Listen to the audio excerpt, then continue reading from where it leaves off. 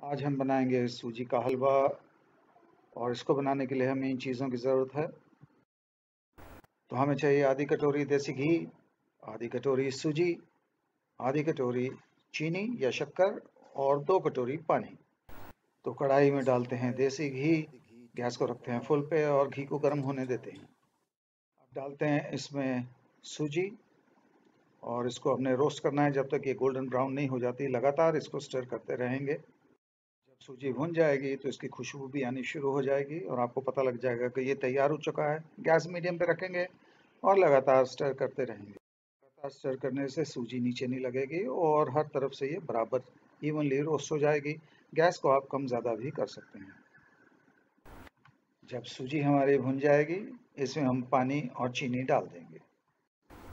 तो सूजी हमारी भुन चुकी है, गोल्डन ब्राउन हो चुकी है। साथ ही में इसकी अच्छी सी खुशबू भी उठनी शुरू हो गई है। तो अब सूजी में डालते हैं पानी और चीनी। और हीट को हम अब कर देंगे फुल पर, हाई पर। और इसको लगातार स्टर करना है जब तक सारा पानी सूख नहीं जाता और हलवा घी नहीं छोड़ देता। तो आप देख रहे हैं कि पानी काफ़ी हद तक सूख गया है। लेकिन फिर भी अभी पानी है इसमें। और एक बार पानी सूख जाएगा तो इसमें से घी ये छोड़ देगा। फ़िलहाल ये जो हलवा है, ये चिपक रहा है साइड पर, एक बार घी निकल जाएगा और ये सारा इकट्ठा मूव करना शुरू हो जाएगा एक मास की तरह। तब गैस बंद करेंगे। तो हलवे को लगातार स्टर करते रहना है। और जैसे जैसे आप इसको स्टर करेंगे आप देखेंगे कि ये कढ़ाई की साइड्स को छोड़ना शुरू कर देगा, क्योंकि घी इसमें से निकलना शुरू हो जाएगा। और ये एक लंप एक मास की तरह इकट्ठा घूमना शुरू हो जाएगा।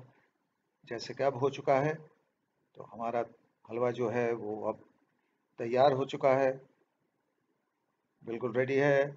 गैस को हम करेंगे बंद। और इसको ट्रांसफ़र करेंगे एक सर्विंग बोल में। तो ये रही आज की डिश सूजी का हलवा, इसको गार्निश करेंगे किशमिश और कटे हुए बादाम के साथ में।